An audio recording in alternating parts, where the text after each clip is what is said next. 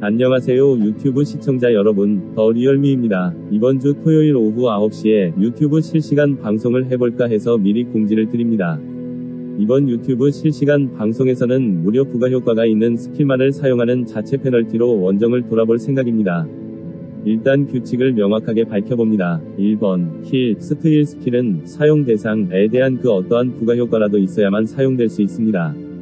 2번, 데미지를 가하는 공격 스킬은 공격 대상에 부가 효과를 가해야만 사용될 수 있습니다.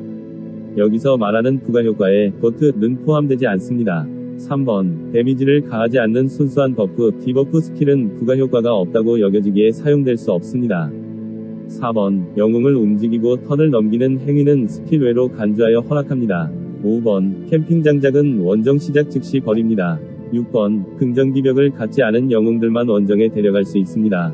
어때요? 참 어지러지하죠. 젤이라는 친구가 제안한 아이디어인데 아주 마음에 듭니다. 관심 있는 분들께서는 많이들 놀러 오셔요.